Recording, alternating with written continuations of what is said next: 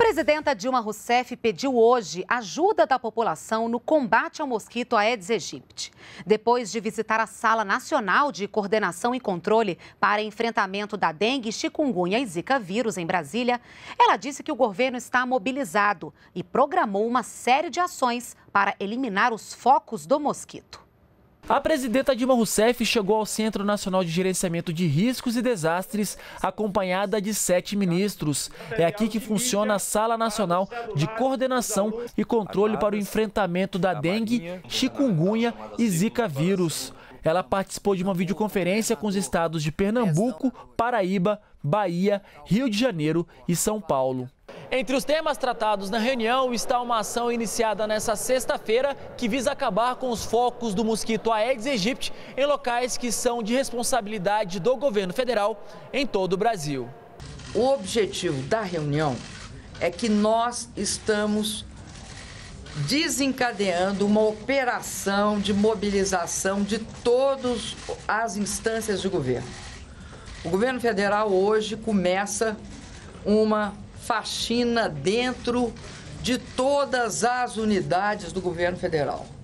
Todas as unidades das Forças Armadas, todas as unidades do Ministério do Desenvolvimento Social e Combate à Fome, que são os CRAS, e todas as demais é, unidades que nós temos descentralizado por todo o Brasil, na educação, enfim, em todas, na saúde, né? em todas as esferas. Hoje foi o dia da faxina, da limpeza, da inspeção e do, da exterminação dos criadores de mosquito em todos os prédios públicos do governo federal.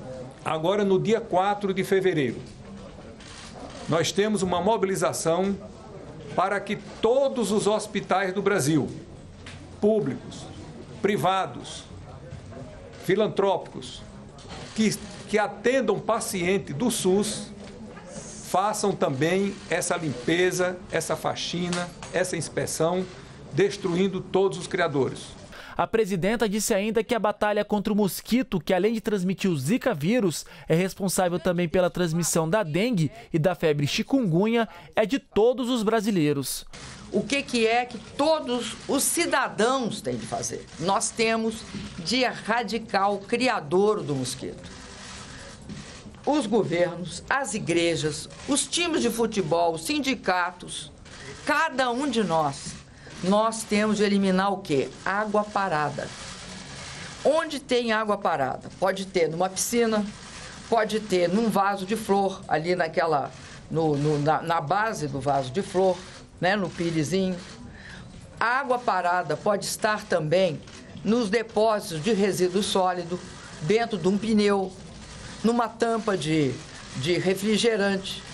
A Sala Nacional de Coordenação e Controle registrou até agora quase 11 milhões de imóveis visitados pelos agentes de saúde e militares das Forças Armadas para combater o Aedes aegypti. A presidenta Dilma Rousseff afirmou que os estados estão preparando uma campanha para alertar a população durante o carnaval sobre a importância de combater a reprodução do mosquito e garantiu que não vai faltar recursos.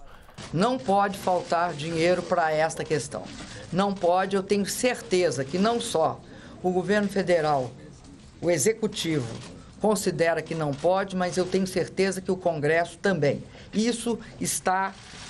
Esta despesa é uma despesa que tem a ver com a saúde pública no país. Então, ela não sofre contingenciamento nem limites. Após a videoconferência, a presidenta Dilma Rousseff, acompanhada do ministro da Defesa, Aldo Rebelo, visitou o grupamento de fuzileiros navais em Brasília, que aderiu ao Dia da Faxina para eliminar focos do mosquito.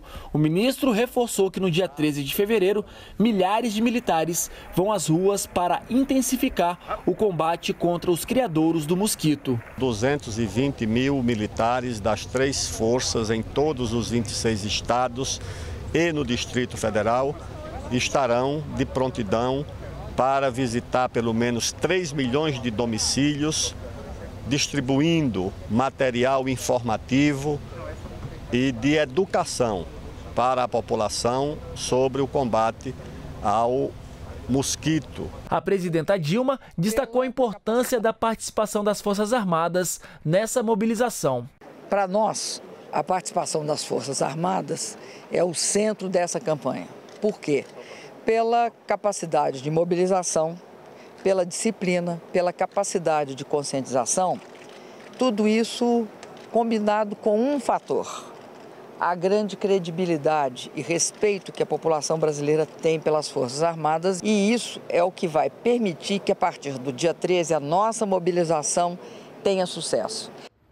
A presidenta Dilma Rousseff afirmou ainda que a partir da semana que vem, o governo de São Paulo começa os testes com a vacina da dengue, que está sendo desenvolvida no Instituto Butantan.